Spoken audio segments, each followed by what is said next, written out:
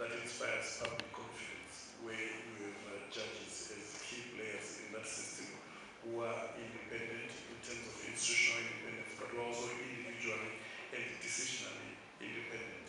And so the building of skills